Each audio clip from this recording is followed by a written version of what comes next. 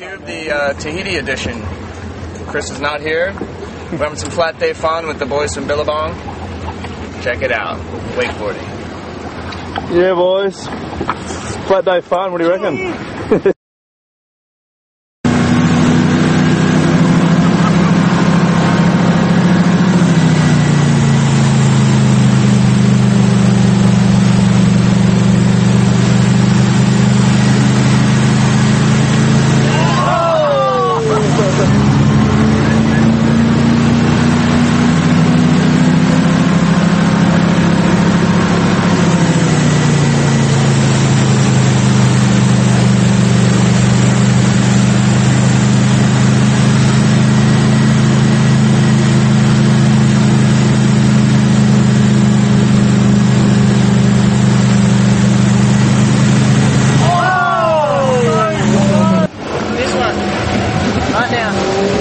Famous last words.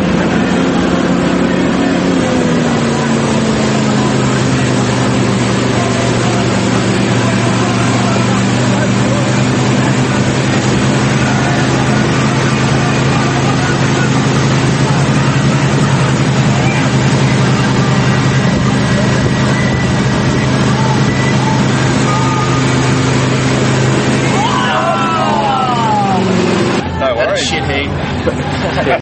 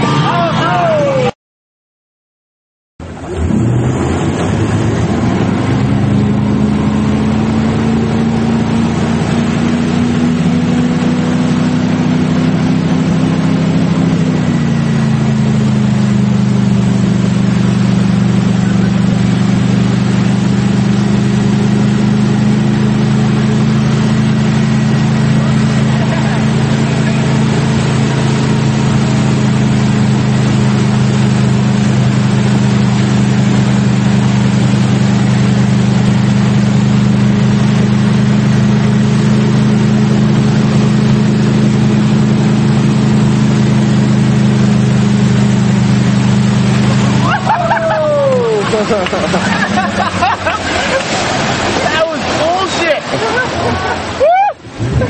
bullshit.